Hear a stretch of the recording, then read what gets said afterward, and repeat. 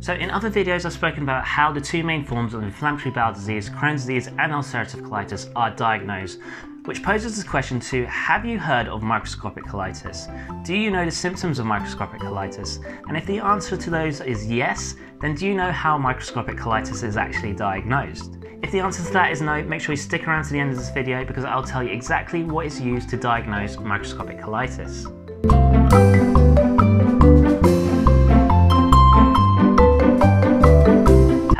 Welcome back to my channel, the only place for Crohn's disease and ulcerative colitis tips, tricks and information. So make sure you hit that subscribe button and the bell to be notified every time I post a video. And if you want to join an exclusive community of people who receive my personal tips and tricks on living with Crohn's disease and ulcerative colitis, make sure you hit the link in the description box below to sign up to my newsletter. Now, first of all, to get a diagnosis of anything that is bothering you, you first need to be showing the symptoms of the disease. And if you want to know more about the symptoms of microscopic colitis, check out this video here, and you can find a link to that in the description box below.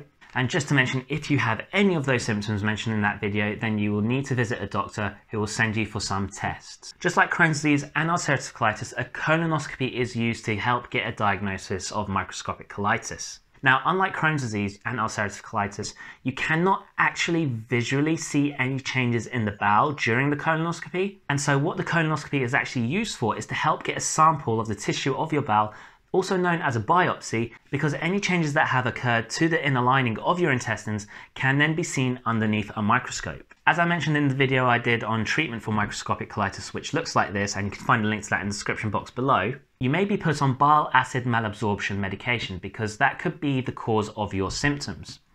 Now, the way bile acid malabsorption is diagnosed is by a nuclear medicine scan known as an SeHCAT scan. So the SeHCAT scan is a radiopharmaceutical scan that is licensed for the measuring of the bile acid pool loss and investigates bile acid malabsorption.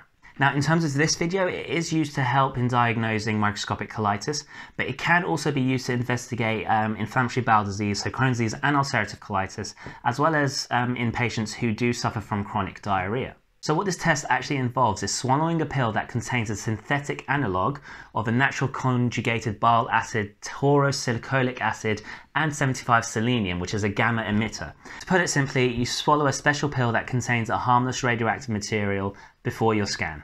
Now, the radioactive material in this pill allows the machine that is being used to scan you to detect what is going on in the body by using special technology. Now, this technology is actually used to test the function of the bowel by measuring how well the compound within that pill is either retained or lost by your body. And the way they look at that is by measuring the amounts that are there in your feces. Now, at the moment, this is the only test currently used to diagnose bile acid malabsorption.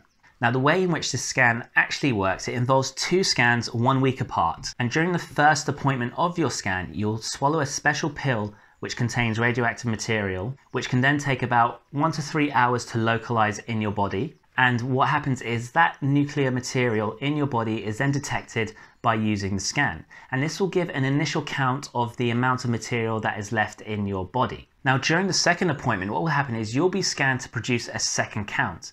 And then the levels that are present in your second scan will be measured against the first scan, and that will determine whether you do have bile acid malabsorption. And there you have it, the ways in which microscopic colitis can be diagnosed.